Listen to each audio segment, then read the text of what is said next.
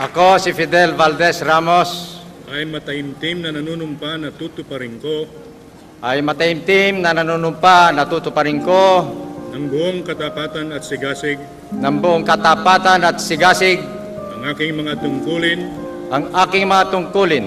Bilang Pangulo ng Pilipinas, bilang Pangulo ng Pilipinas. pangangalagaan at ipagtatanggol ang kanyang konstitusyon, Pangangalagaan at ipagtatanggol ang kanyang konstitusyon. Ipatutupad ang mga batas nito, Ipatutupad ang mga batas nito.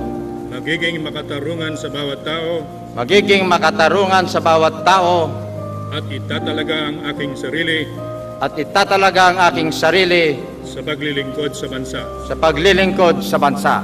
Kasihan nawa ako ng Diyos. Kasihan nawa ko ng Diyos. Maraming salamat po.